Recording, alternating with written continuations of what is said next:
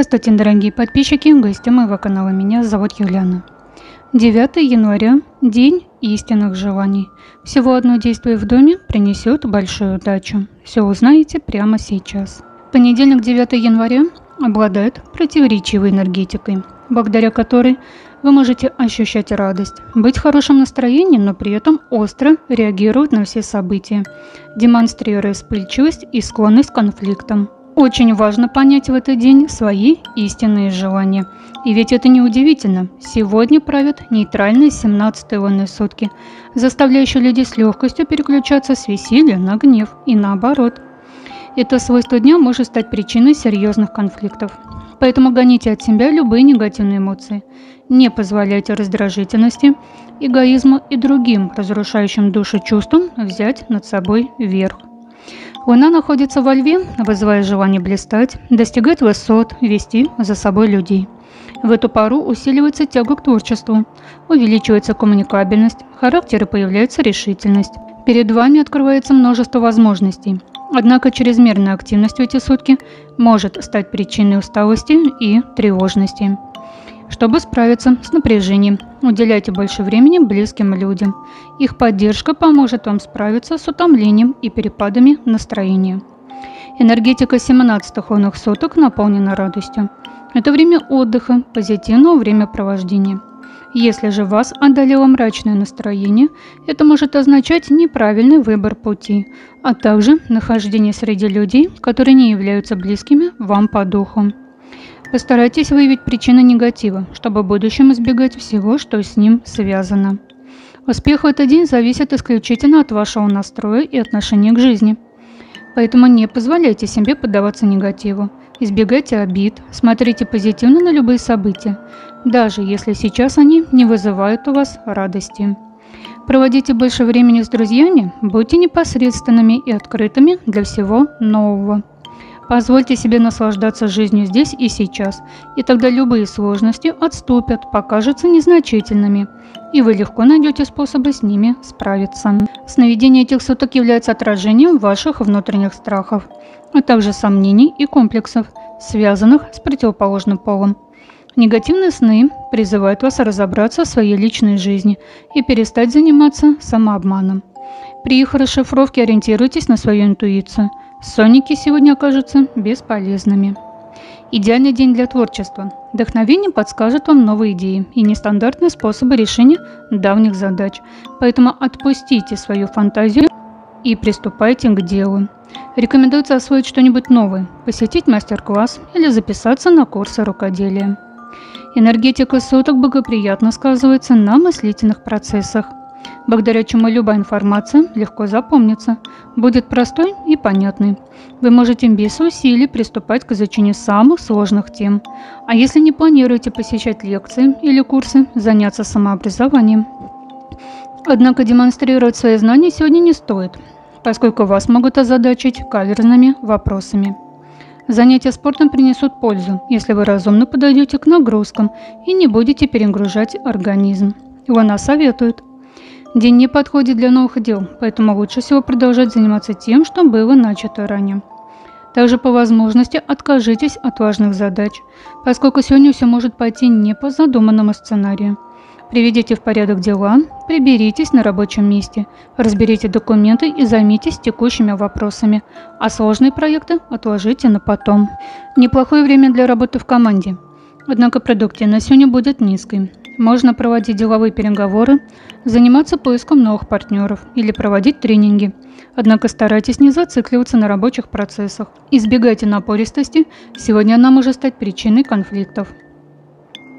Финансовые операции пройдут успешно, если вы тщательно продумаете свои действия. Сегодня недопустимо делать спонтанные покупки, участвовать в авантюрах, при этом – Запланированные заранее приобретения или инвестиции будут успешными и принесут вам очевидную выгоду. Праздничная энергетика 17 лунных суток не благоволит работе по дому. Даже небольшая уборка может негативно сказаться на атмосфере жилища, поэтому отложите все, что не является срочным. Посвятите этот день отдыху или займитесь задачами, не связанными с бытом.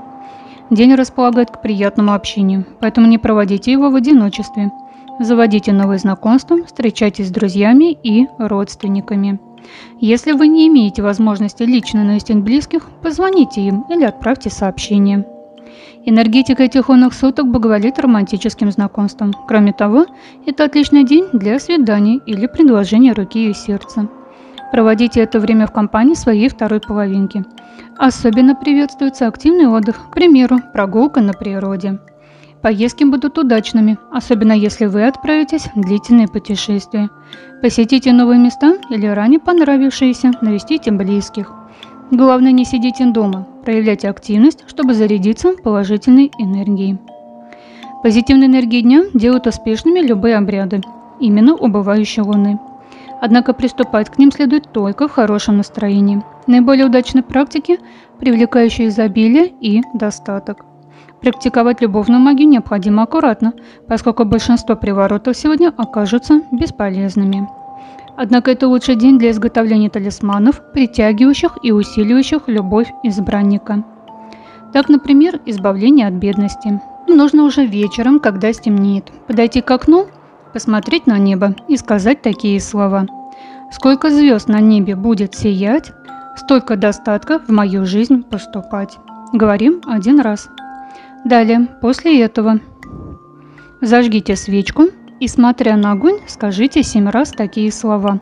Луна убывает, безденежье мое с собой забирает. Все, свечка должна полностью прогореть до конца.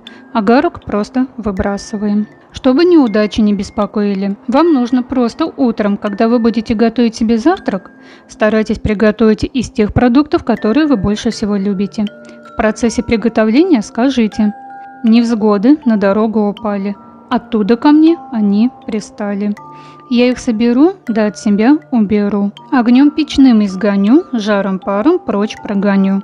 Мне неудач больше не знать, и меня отныне избегать истинным.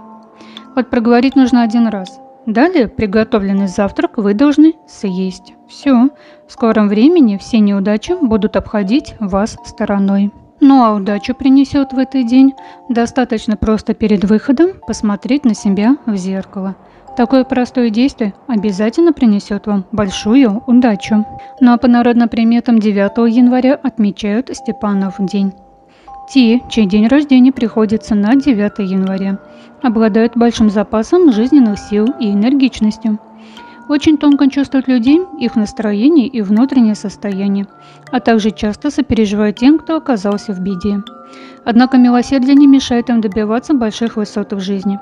Обычно эти люди умеют делать деньги и рано начинают зарабатывать в интересной им области, а их талисман – яшма.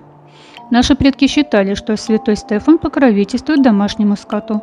Он бережет животных от болезней и ранней смерти. Поскольку в эти дни шли святки, то люди считали, будто нечистые силы сейчас особенно активны. Чтобы обезопасить себя, свой дом, обязательно по углам рассыпали по щепотке соли. Так как шли святки, то в основном наши предки проводили этот день в радости и веселье. Хозяйки накрывали столы и звали гостей, а молодежь каледовала, каталась с горок и водила хороводы. Также во время святок проводилось множество ритуалов, направленных на получение всех благ жизни – Одним из популярных в это время ритуалов считался ритуал на красоту лица. Для этого нужно было просто умыться и сказать такие слова. «Как вода светла, так и кожа моя чиста и бела. Лицо водой умываю, румянец получаю. Буду я молодостью и красотой сиять, взгляды привлекать. Да будет так». Говорили один раз. Помимо этого, святочный период считается временем, когда каждый может привлечь в жизнь богатство и благополучие. Так, например, чтобы в доме всегда водились деньги, следует в эти дни ароматизировать свой дом такими запахами, как ваниль, гвоздика или корица. Считается, что эти ароматы притягивают успех и деньги. А также, чтобы обрести финансовый достаток, следует взять шкатулку и положить туда денежную купюру. Причем, чем больше она будет, тем сильнее будет действие ритуала. Деньги следует хранить по меньшей мере год, то есть до следующих святок. Считается, что такой талисман будет притягивать поступление и увеличивать накопление. И по традиции, перед сном каждый из вас, перед тем, как ложиться спать, обязательно проговариваем такие слова. Я чувствую большие позитивные изменения в своей судьбе. Вот повторим один раз, и вы посмотрите, что изменения обязательно будут удивительными.